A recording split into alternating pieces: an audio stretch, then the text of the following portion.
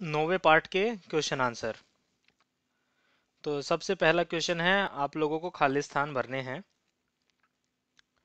सबसे पहला है ह्यूमस की मात्रा डैश मृदा में सर्वाधिक होती है। कौन सी मृदा में सबसे ज़्यादा होती है?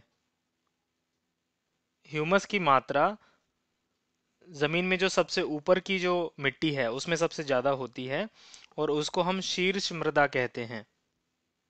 ह्यूमस की मात्रा शीर्ष मृदा में सबसे ज़्यादा होती है। ये देख रहे हैं आप, यहाँ पे लिखा हुआ है शीर्ष मृदा शीर्ष मृदा के अंदर ह्यूमस की मात्रा सबसे अधिक होती है। और ये शीर्ष मृदा होती है, ये हमने मिट्टी की परतें देखी थी ना तो जब से, जो सबसे ऊपर वाली परत होती है, जिसमें हम पेड़ पौधे उगाते हैं, वो वाली परत शीर्ष मृदा होती है।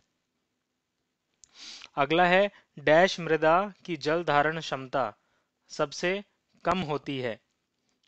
कौन सी मिट्टी में पानी सबसे कम रुकता है? तो जो रेतीली मिट्टी जो होती है, उस मिट्टी में पानी सबसे कम रुकता है। तो उसको बोलते हैं हम बलुई मृदा। बलुई मृदा। तो बलुई मृदा की जल धारण क्षमता सबसे कम होती है। बलुई में दिखा देता हूँ आपको कहाँ लिखा हुआ है। ये देख रहे हैं आप? बलुई मृदा। बालुई मृदा, जो रेतीली मिट्टी होती है, उसको बालुई मृदा कहते हैं और इस मिट्टी की जल धारण क्षमता सबसे कम होती है। बालुई मृदा। अगला क्वेश्चन है, डैश मृदा का उपयोग बर्तन बनाने में किया जाता है। कौन सी मिट्टी से बनते हैं बर्तन? आपके, देखिए, किताब के ऊपर ही लिखा हुआ है, मृतिका, चिकनी मिट्टी का उपयोग बर्तनों, खिलौनों और मूर्तियों को बनाने में किया जाता है। कौन सी मिट्टी से बनते हैं बर्तन? चिकनी मिट्टी से। और चिकनी मिट्टी को बोलते हैं मृणमय मृदा। मृणमय को आप लिखेंगे, ये दिखा देता हूँ। ये देख रहे हैं आखिरी वाला, सी, मृणमय मृदा। चिकनी मिट्टी को मृणमय मृदा कहते हैं। तो मृणमय मृदा से बर्तन बनते हैं। तो सबसे आखिर का आपका उत्तर होगा मृणमय मृदा। ठीक है? इसको मृतिका भी कहते हैं। अगले में आपको बताना है, सही कौन सा है? शैल कणों के अतिरिक्त मृदा में होते हैं। मिट्टी में क्या क्या होता है?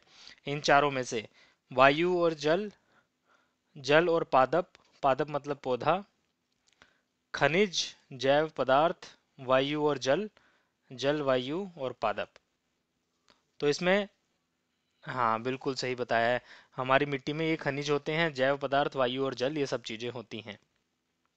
जो पौधे होते हैं, वो मिट्टी में नहीं होते, वो मिट्टी के ऊपर होते हैं। अगला है, मृदा का बनना कैसी प्रक्रिया है? मिट्टी का बनना कैसी प्रक्रिया है? धीमी, तीव्र, मध्यम या इनमें से कोई नहीं? हाँ मिट्टी बहुत ही धीमे धीमे बनती है। हज़ारों साल लग जाते हैं मिट्टी बनने में। तो इसीलिए मिट्टी का बनना एक धीमी प्रक्रिया है। अगला है, मृदा में उपस्थित सड़े गले पदार्थ क्या कहलाते हैं? मृदा में जो सड़ी गली चीज़ें, पुरानी पत्तियाँ पड़ी हैं, पुरानी लकड़ियाँ पड़ी हैं, फलों के छिलके हैं, बहुत अच्छे, बहुत बढ़िया बहुत बढ़िया। ह्यूमस एकदम सही आंसर है। मिट्टी के अंदर जितने भी सड़े गले पदार्थ होते हैं, या फिर आप मिट्टी के अंदर जो खाद डालते हो उस खाद में भी बहुत सारा ह्यूमस होता है। खाद में जो ह्यूमस होता है ना, उसी के कारण खाद डालने के बाद हमारी फ़सल अच्छी होती है। जो गोबर की खाद जो डालते हैं खेतों में, उससे हमारी फ़सल बहुत अच्छी होती है क्योंकि उसमें ह्यूमस ज़्यादा होता है। निम्न में से किस मिट्टी में जल का अंत श्रवण सबसे अधिक होता है? इसका मतलब है कि कौन सी मिट्टी बहुत जल्दी पानी पी जाती है, पानी को सोख लेती है? बलुई मिट्टी मतलब रेतीली मिट्टी मृणमय मिट्टी, चिकनी मिट्टी मृणमय नहीं। हाँ बलुई मिट्टी। रेत जो होता है, आप रेत पे जैसे ही पानी डालोगे, पानी तुरंत वो सोख लेगा, तुरंत पानी गायब हो जाता है बहुत जल्दी। तो इसीलिए जो बालुई मिट्टी है, वो बहुत जल्दी पानी को सोखती है। अगले में आपको मिलान करने हैं। तो जीवों को आवास देने वाली। इसमें देखिए क्या क्या है, हमारे पास बड़े कण, सभी प्रकार की मृदा गहरे रंग की, सघन छोटे कण, ह्यूमस की कम मात्रा। जीवों को आवास देने वाली कंफ्यूजिंग है। अभी नहीं समझ में आ रहा है ना इसका क्या होगा उत्तर? इसका आगे का देखते हैं। मृदा की ऊपरी परत। मृदा की ऊपरी परत से इसमें क्या मिलेगा? मृदा की जो ऊपरी परत है, अगर मैं आपको फ़ोटो दिखाता हूँ, ये था यहाँ पर। आप देखिए मृदा की जो सबसे ऊपरी परत है, सबसे गहरे रंग की है, सबसे गाढ़े रंग की है है ना? देख रहे हैं ना हम फ़ोटो में? सबसे गहरे रंग की है तो यहाँ पे देखिए, ये तीसरा जो दे रखा है गहरे रंग की, है ना? तो मृदा की सबसे ऊपरी परत हुई गहरे रंग की। उसके बाद तीसरा दे रखा है बलुई मृदा रेतीली मिट्टी रेतीली मिट्टी में क्या बन रहा है यहाँ पे? बड़े कण, सभी प्रकार की मृदा, सघन छोटे कण, ह्यूमस की कम मात्रा। छोटे कण होते हैं चिकनी मिट्टी में। तो ये जो सघन छोटे कण है, ये आएगा उत्तर मृणमय मृदा का, क्योंकि मृणमय मृदा चिकनी मिट्टी होती है और चिकनी मिट्टी में बहुत छोटे छोटे कण होते हैं। उनके बीच में हवा कम होती है। इसीलिए चिकनी मिट्टी पानी को बहुत देर में सोखती है। लेकिन रेतीली मिट्टी में, बलुई मिट्टी के अंदर, जो कण है, वो बहुत बड़े बड़े होते हैं, इसीलिए वो एक दूसरे से चिपक नहीं पाते और उनके अंदर हवा भरी रहती है। इस कारण, जब भी हम रेतीली मिट्टी में पानी डालते हैं, पानी तुरंत अंदर चला जाता है। तो बलुई मिट्टी के होते हैं बड़े कण और मृण में मृदा, चिकनी मिट्टी, इसके होते हैं सघन छोटे कण। चौथा दे रखा है इन्होंने, मृदा की मध्य परत। अब मृदा की मध्य परत में बताइए क्या आएगा? सभी प्रकार की मृदा उत्तर आएगा या फिर ह्यूमस की कम मात्रा? मृदा की मध्य परत में आएगा, ह्यूमस की कम मात्रा, क्योंकि जैसे ही हम ऊपर की परत से नीचे की परत में जाते हैं, ह्यूमस की मात्रा कम हो जाती है। खनिज की मात्रा बढ़ जाती है, लेकिन ह्यूमस की मात्रा कम हो जाती है। इसीलिए हमारे जो पौधों की जड़ें हैं, वो ज़्यादातर ऊपर वाली परत में ही रहती हैं, नीचे वाली परत में नहीं जाती। क्योंकि इसमें ह्यूमस की मात्रा बहुत कम होती है। चौथे का उत्तर हुआ ह्यूमस की कम मात्रा। इससे अगला है आ, पहले वाला जो हमारा रह गया था जीवों को आवाज़ देने वाली। इसमें हमें समझ नहीं आ रहा था क्या उत्तर होगा है ना? तो जीवों को आवाज़ देने वाली में अब आखिर में हमारे पास क्या बच गया? हाँ हाँ सभी प्रकार की मृदा। तो ऐसे ही कभी भी अगर आपको पेपर में ये ना समझ आ रहा हो कि उत्तर क्या होगा। तो बाकी के क्वेश्चन को आप पहले कर लो तो आपको समझ आ जाएगा कि इसका बचे हुए का उत्तर क्या बन रहा है। ठीक है। अगला है क्वेश्चन मिट्टी परिच्छेदिका क्या है? और इसके विभिन्न संस्तरों को चित्र द्वारा दर्शाइए। तो मिट्टी परिच्छेदिका थी हमारी जो फ़ोटो दिखा रखी है मिट्टी की सभी परतों की। अभी जो थोड़ी देर पहले मैंने आपको दिखाई थी। उसको बोलते हैं मिट्टी परिच्छेदिका। अभी आपको बुक में दिखा देते हैं। ये देख रहे हैं आप ये? ये जो फ़ोटो दिया हुआ है, इसको मिट्टी परिच्छेदिका या मृदा परिच्छेदिका कहते हैं। आप लोगों ने इस क्वेश्चन में ये बनाना है और मैं थोड़ा सा लिखवा देता हूँ आपको। ओके, ठीक है। चलिए, लिखिए आप। मृदा की विभिन्न परतों को दर्शाना। मृदा परिच्छेदिका कहलाता है। इसमें हम एक चित्र के द्वारा मिट्टी की चार परतों को दिखाते हैं। लिख लिया सबने? इसमें आप लोगों को ये जो बुक में चित्र बनाया हुआ है, ये चित्र बनाना है, ठीक है? आप लोग लिख लो कि आपने ये चित्र बनाना है। अगला क्वेश्चन हम देखते हैं।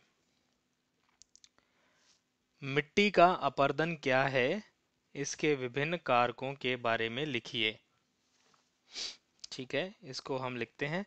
मिट्टी का अपर्दन होता है, जैसे कि आपके यहाँ बहुत तेज बारिश होती है ना तो बारिश में पानी में बहुत सारी मिट्टी बह के चली जाती है। उसको मिट्टी का अपर्दन बोलते हैं। ठीक है, लिखिए। बारिश तथा हवा के साथ मिट्टी की परत का बह जाना मृदा अपर्दन कहलाता है।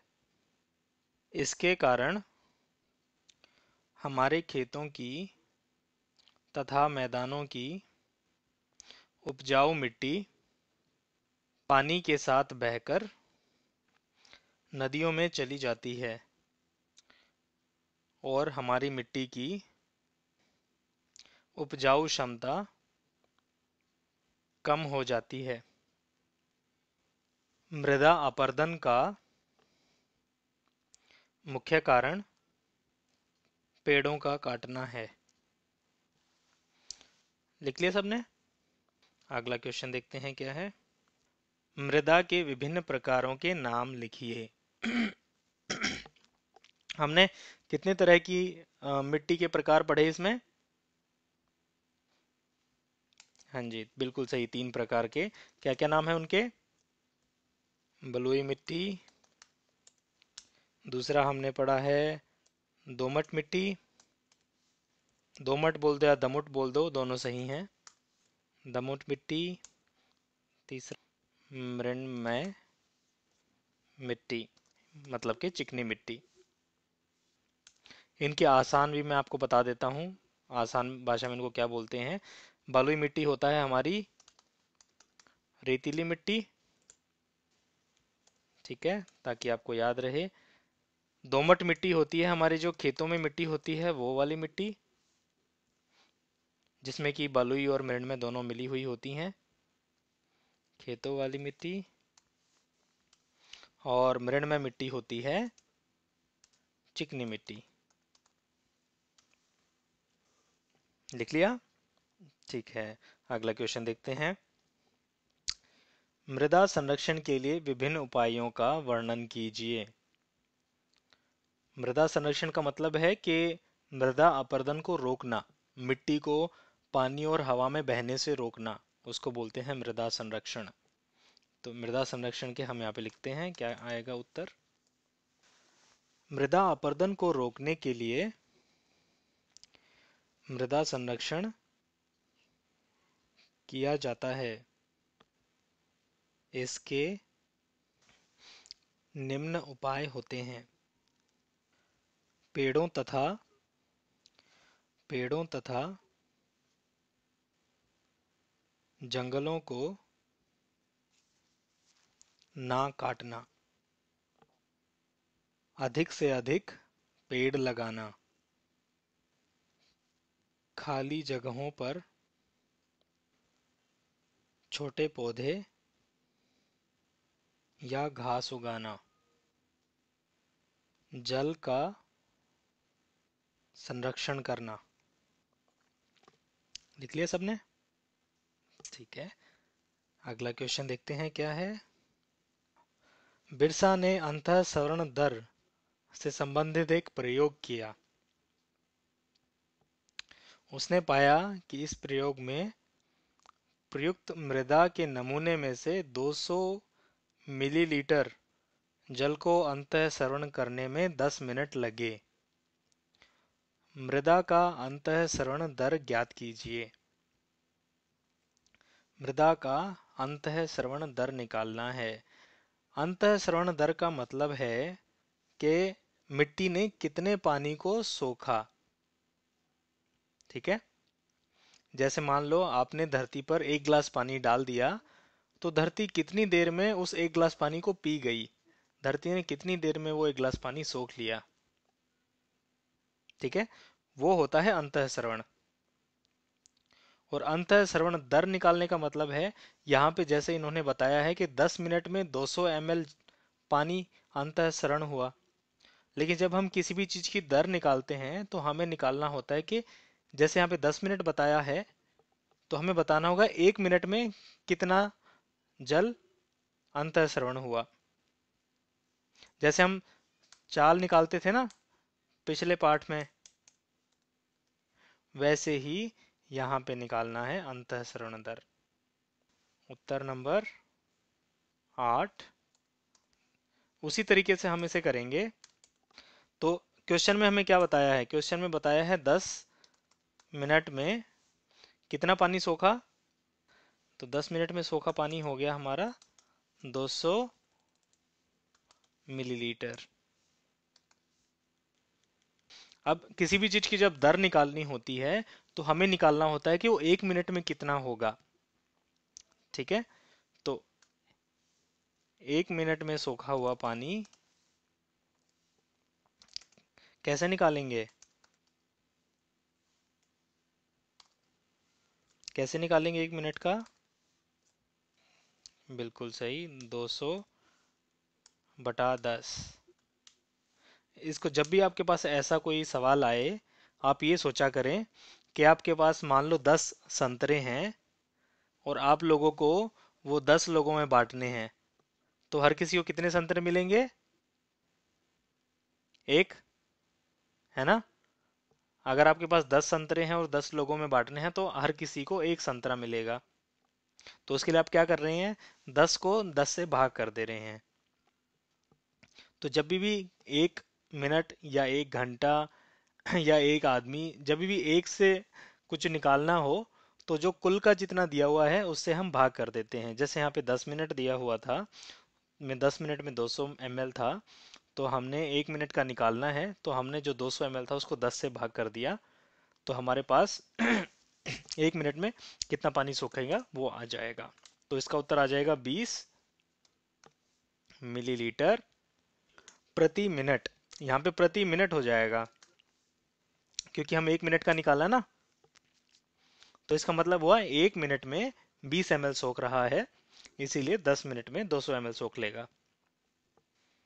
अंत श्रवण दर। आ गई कितनी?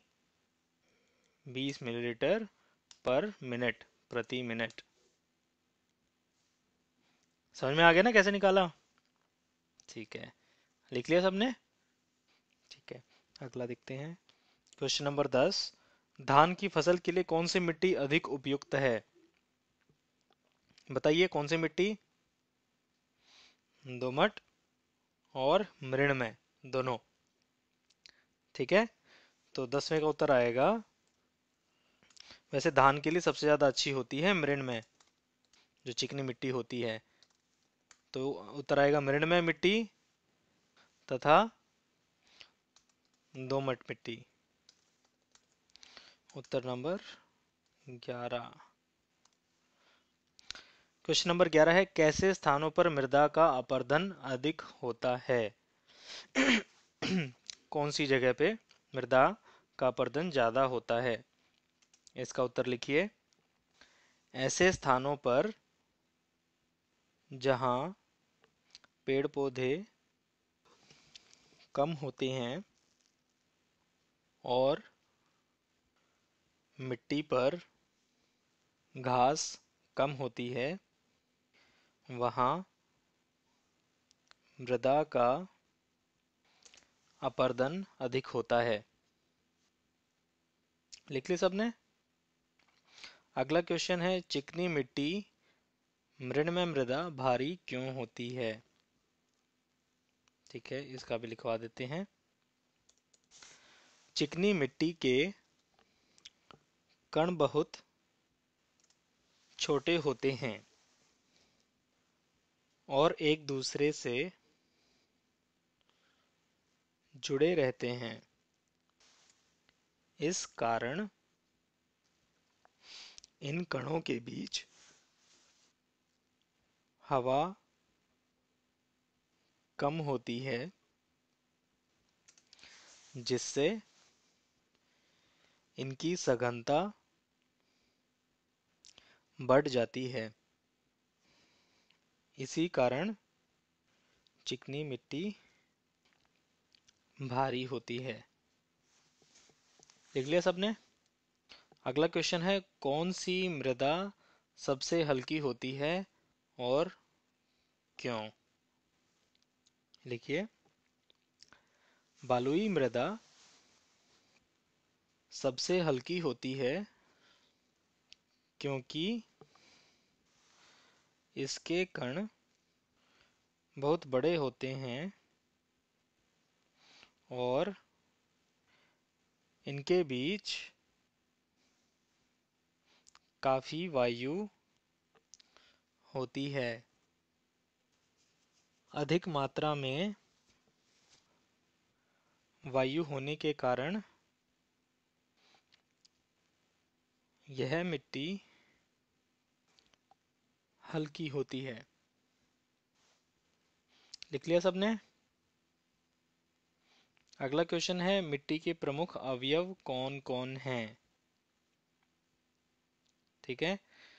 तो मिट्टी के प्रमुख अवयव, हमने यहाँ पे सबसे पहले क्वेश्चन में ही पढ़ लिए थे कि मिट्टी किस किस चीज़ से बनती है। तो यहाँ पे लिखवा देते हैं आपको जल्दी से। मिट्टी के प्रमुख अवयव खनिज, मृदा, ह्यूमस ह्यूमस, जैव पदार्थ, वायु तथा जल आदि होते हैं। लिख लिया सबने। अगला और आखिरी क्वेश्चन है आपका, मिट्टी संरक्षण के लिए वृक्षारोपण क्यों आवश्यक है? चलिए ये भी लिख लेते हैं। पेड़ पौधों की जड़ें, मिट्टी को अच्छे से पकड़ कर रखती हैं और हवा तथा पानी के साथ बहने नहीं देती। इससे मृदा अपर्दन